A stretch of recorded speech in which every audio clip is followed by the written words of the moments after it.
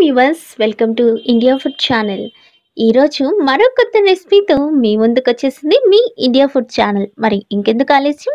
Video start చేసేద్దాం. Video start చేయడానికన్నా ముందు మీలో ఎవరైనా మా ఛానల్ని ఇంకా సబ్స్క్రైబ్ చేసుకోకుండా ఉంటే సబ్స్క్రైబ్ చేసుకొని పక్కనున్న గంట సింబల్ని ప్రెస్ చేసినట్లయితే మీకు లేటెస్ట్ నోటిఫికేషన్స్ అనేటివి అప్డేట్ అవుతూ ఉంటాయి. ఇవాళ వీడియోలో నేను మీకు ఇంట్లో చాలా ఈజీగా యమ్మీ యమ్మీ ఫ్రాన్స్ బిర్యానీ ఎలా తయారు చేసుకోవాలో చూపించబోతున్నాను. మరి ఇంకెందుకు ఆలస్యం? వీడియో స్టార్ట్ చేసేద్దాం. ముందుగా దీనికోసం కావాల్సిన పదార్థాలు చూద్దాం. ఇది మీడియం సైజ్ ఆనియన్స్. రెండు ఆనియన్స్ని ఈ విధంగా సన్నగా తరిగి పెట్టుకున్నాను. తర్వాత మూడు లేదా నాలుగు చిన్న టమోటాలు తీసుకోండి. వాటిని కూడా ఈ విధంగా కట్ చేసి పెట్టుకోండి. ఇది వచ్చేటప్పటికి పుదీనా కొత్తిమీర తరుగు. ఇది మరీ ఎక్కువ వేయబడలేదు.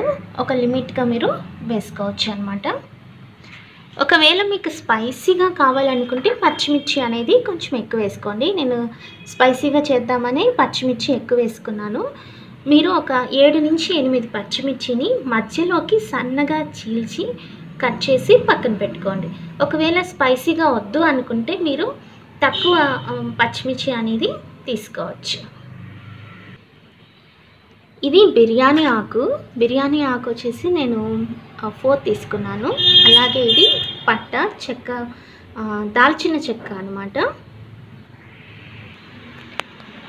మనం చేసేది ఫ్రాన్స్ బిర్యానీ కనుక ఫ్రాన్స్ తీసుకుందాం. నేను వచ్చేసి పావు కిలో ఫ్రాన్స్ అనేటివి తీసుకున్నాను. బాగా చక్కగా వీటిని త్రీ ఆర్ ఫోర్ టైమ్స్ బాగా వాష్ చేసి పెట్టుకున్నటువంటి ఫ్రాన్స్ అనమాట ఇవి. ఇది ఇండియా ఫుడ్ మసాలా అండి. ఈ ఇండియా ఫుడ్ మసాలా ఎలా తయారు చేసుకోవాలనేది రాబోయే వీడియోస్లో మీకు ఖచ్చితంగా అప్లోడ్ చేస్తాము. అయితే ఈ ఇండియా ఫుడ్ మసాలా మా దగ్గర లేదు కదా. అయితే మేము ఎలా చేయాలి అంటే వాళ్ళకి నేను చెప్తానండి. కుకింగ్ చేసేటప్పుడు దీనికి రీప్లేస్మెంట్గా ఏమేమి యూజ్ చేయాలనేది నేను మీకు తప్పకుండా చెప్తాను. ఇప్పుడు ఫైనలీ మనకు కావాల్సింది వచ్చేసి రైస్ అన్నమాట. బాస్మతి రైస్ తీసుకోండి. చాలా బాగుంటుంది. ఒకవేళ బాస్మతి రైస్ అవైలబుల్ లేదు అనుకుంటే మీరు మసూర బియ్యంతో కూడా మీరు చేసుకోవచ్చు అనమాట ఇది చూడండి. దీనిని టూ టైమ్స్ బాగా వాష్ చేసి ఇలా నానబెట్టేశాను. అయితే దీనికి ఎన్ని వాటర్ వేసుకోవాలనేది కూడా నేను మీకు వీడియో మిడిల్లో అనేది చెప్పడం జరుగుతుంది. సో వీడియోని మీరు స్కిప్ చేయకుండా ఇప్పుడు మనం ఎలా తయారు చేసుకోవాలో చూద్దాం. దీనికోసం ముందుగా స్టవ్ పైన కడాయి పెట్టి దానిలో రెండు లేదా మూడు టీ స్పూన్ల ఆయిల్ వేసుకోండి. ఇక్కడ ఆయిల్ అనేది కొంచెం క్వాంటిటీ తక్కువే వేసుకోండి. మీకు ఎందుకంటే మనకి బిర్యానీలో రైస్ అనేది పట్టుకున్నప్పుడు మరి ఆయిలీగా ఉందనుకోండి తినలేమన్నమాట. నెక్స్ట్ దీంట్లో మనము కుకింగ్కి పెట్టేటప్పుడు దమ్ పెట్టేటప్పుడు మనము నెయ్యి కూడా యాడ్ చేస్తాము. అందుకని ఆయిల్ అనేది జస్ట్ గ్రేవీ వేగడానికి మాత్రమే మీకు సరిపడినంత వేసుకోండి. ఓకేనా? ఇప్పుడు ఆయిల్ హీట్ ఎక్కిన తర్వాత దీనిలో మనం ఏంటంటే ఆనియన్స్ అలాగే పచ్చిమిర్చి వేసుకోవాలి. నేను వేసిన తర్వాత మీకు చూపిస్తాను. ఓకేనా?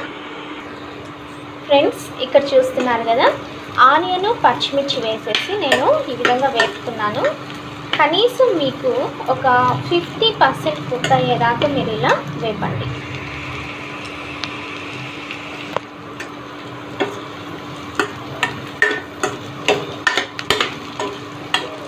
ఒక ఫిఫ్టీ పర్సెంట్ కుక్ అయిన తర్వాత మనం ఆల్రెడీ తయారు చేసుకున్నటువంటి ఇండియా ఫుడ్ మసాలా ఉంది కదా దాన్ని దీంట్లో వేయాల్సి ఉంటుందన్నమాట.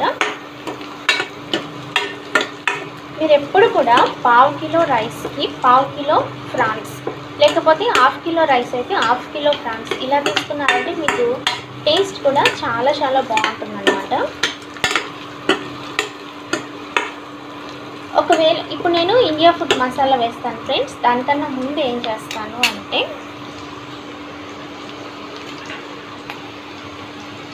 చూడండి. బిర్యానీ ఆకు అలాగే దాల్చిన చెక్క వేసేసాను.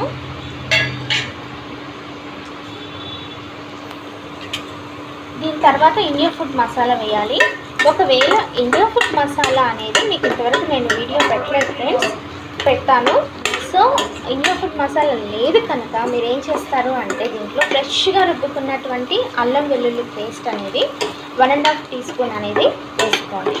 ఈ అల్లం వెల్లుల్లి పేస్ట్ వచ్చేటప్పటికి మీరు ఫ్రెష్గా రుబ్బిందే వేయండి. లేకపోతే ఆ ఫ్లేవర్ ఆ స్మెల్ అంతా కూడా మీకు మిస్ అవుతుంది. అస్సలు బయట నుంచి తీసుకొచ్చింది అసలు వేయద్దు. బిర్యానీకి మాత్రము నేను చెప్పిన కొలతల్లో మీరు కొంచెం అటు ఇటుగా మీకు సరిపడినంత అనేది మీరు చూసుకొని వేసుకోండి. ఓకేనా? ఇది ఓన్లీ ఇండియా ఫుడ్ మసాలాకి రీప్లేస్మెంట్ అల్లం వెల్లుల్లి పేస్ట్ మాత్రమే కాదు ఇంకా కొన్ని ఐటమ్స్ ఉన్నాయి. అవి ఏంటనేది కూడా నేను వీడియో మధ్యలో మీకు చెప్తూ ఉంటాను. అందుకని వీడియోని స్టార్టింగ్ నుంచి ఎండింగ్ దాకా చూసారంటే మీకు ఏ ఐటమ్స్ ఎప్పుడు వేయాలనేది కూడా మీకు ఐడియా ఉంటుంది. ఓకేనా? ఇది చూడండి ఈ స్టేజ్లో ఇలా కొంచెం లైట్ బ్రౌన్ కలర్ వచ్చింది కదా ఇలా వచ్చిన తర్వాత మనం మసాలా వేద్దాం. మసాలా వేసిన తర్వాత అడుగు పట్టేస్తుంది. అందుకని మీరు పక్కనే ఉండి బాగా ఈ విధంగా వేపుకోండి. ఓకేనా?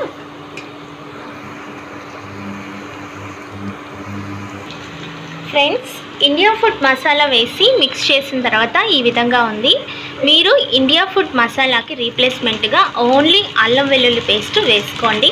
ఇంకొన్ని ఇంగ్రీడియంట్స్ ఏ టైంలో యాడ్ చేయాలనేది నేను మీకు చెప్తాను. ఓకేనా? ఇలా మనం కొంచెం బాగా ఒక నైంటీ పర్సెంట్ వేపిన తర్వాత దీనిలో మనం టమోటాలు వేసుకోవాలి.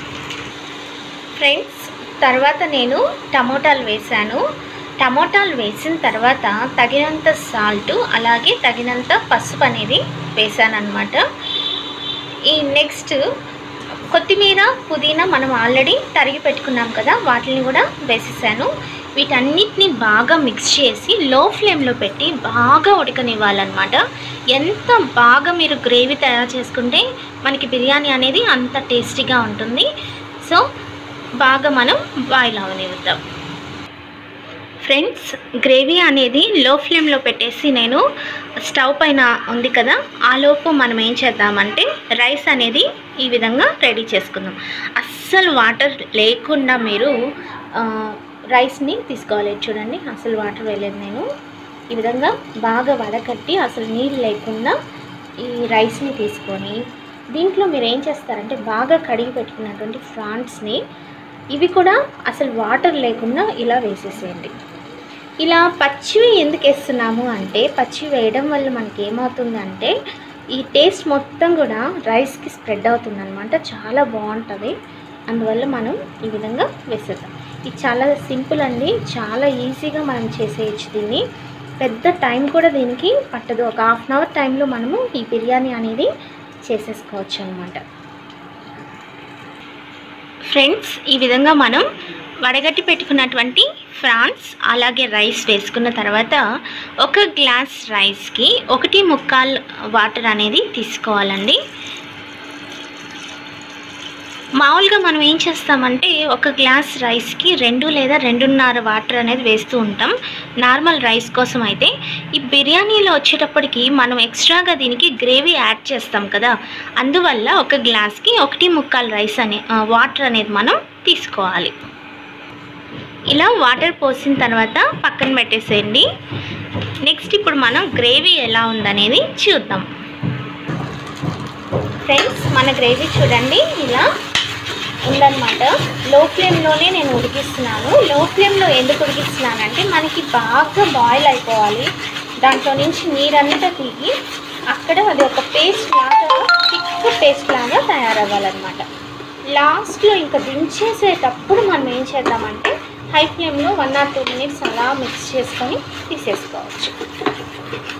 ఫ్రెండ్స్ ఇప్పుడు ఈ స్టేజ్లో మీరు ఏం చేయాలంటే one and half tea spoon ధనియాల పొడి అలాగే హాఫ్ టీ స్పూన్ కారం. ఎందుకంటే మనం ఆల్రెడీ పచ్చిమిర్చి వేసుకున్నాం కదా అందువల్ల అనమాట next half tea spoon garam masala half tea spoon chicken masala powder అని ఒకటి ఉంటుందండి అది తీసుకోండి. ఫ్రెండ్స్ చికెన్ మసాలా పౌడర్ ఉంటుంది. దాన్ని కూడా మీరు హాఫ్ టీ స్పూన్ అనేది వేసుకోండి. అయితే నేను మాత్రం జస్ట్ ఒక హాఫ్ టీ స్పూన్ కారం వేస్తున్నాను. ఎందుకంటే ఇండియా ఫుడ్ మసాలా అనేది యూజ్ చేశాను కనుక అది లేదు కనుక మీరు ఏం చేయాలి అంటే ఈ నేను చెప్పినటువంటి పౌడర్స్ అన్నీ కూడా వేసుకోండి. దాంతోపాటు మీరు ఏంటంటే బాగా ఎమ్మీగా చూడడానికి చాలా బాగుండడానికి ఫుడ్ కలర్ అనేది మీరు వేసుకోవచ్చు. నేను ఈ కలర్ వాడుతున్నాను. ఇది కూడా మీరు ఏం చేస్తారంటే పావు టీ స్పూన్ వేసుకోండి.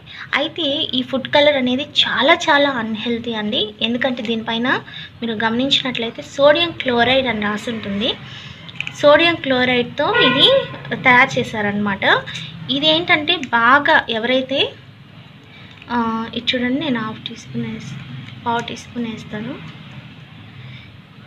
ఓకే. ఈ సోడియం క్లోరైడ్ అనేది ఎవరైతే బాగా ఒంట్లో నీరు ఉంటుందో లేకపోతే ఎవరైతే బాగా వెయిట్ ఉంటారో వాళ్ళకి చాలా అన్హెల్తీ అనమాట ఇంకా వెయిట్ గెయిన్ అవ్వడానికి ఇది వాళ్ళకి ఏం చేస్తుందంటే సపోర్ట్ అవుతుంది. అందుకని దీన్ని ఏంటంటే ప్రిఫర్ చేయాల్సిన అవసరం లేదు. బట్ రేర్ కేసెస్లో మనం యూజ్ చేసుకోవచ్చు. ఒకవేళ దీనికి రీప్లేస్మెంట్ మీకు కావాలి అనుకుంటే మీరు ఏం చేస్తారంటే కుంకుమ పువ్వు ఉంటుంది కదా దాన్ని ఒక ఆరు లేదా ఏడు రేకల్ని బాగా నానపెట్టేసి వాటిని బాగా స్మాష్ చేసి ఆ లిక్విడ్ అనేది వేసుకోవచ్చు. బట్ మీకు లైట్గా కలర్ అనేది వస్తుంది. ఓకేనా? ఇప్పుడు నేను ఇదంతా కూడా మిక్స్ చేసేసి గ్రేవీ దించేటప్పుడు నేను మీకు చూపిస్తాను. Okay friends? ఫ్రెండ్స్ ఇక్కడ చూస్తున్నారు కదా బాగా ఆయిల్ అనేది పైకి తేలిన తర్వాత గ్రేవీని తీసుకొచ్చేసి మనం ఆల్రెడీ తయారు చేసుకున్నటువంటి రైస్లో వేసేయండి. ఈ పైన కనిపిస్తున్నది వచ్చేసి నెయ్యి అనమాట గడ్డగా ఉంది అందువల్ల నేను చెప్పలేకున్నాను. రెండు టీ స్పూన్లు వేసుకోండి. మీరు నెయ్యి అనేది ఈ నెయ్యి వేయడం వల్ల చాలా మంచి ఫ్లేవర్ అనేది బిర్యానీకి వస్తుంది. అంతే. అన్నిటిని కలిపి బాగా మిక్స్ చేసేసి మీరు పెట్టేశారంటే అది మీకు బాయిల్ అయిపోతుంది. సో అంతే బిర్యానీ అనేది రెడీ అయిపోతుంది. మరి బిర్యానీ రెడీ అయిన తర్వాత ఎలా ఉందనేది నేను మీకు చూపిస్తాను. ఓకేనా?